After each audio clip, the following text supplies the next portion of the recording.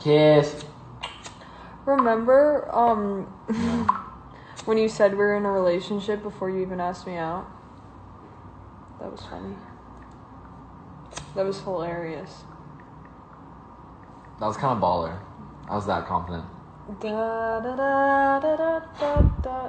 Come on. What an iconic moment by me. I was that confident. I said, nah, we'll be dating by then.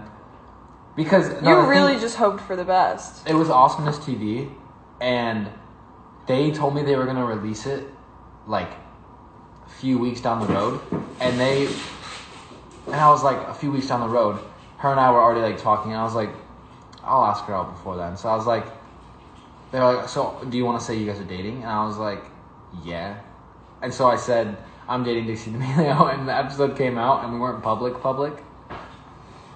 But when he said that, we weren't dating at all.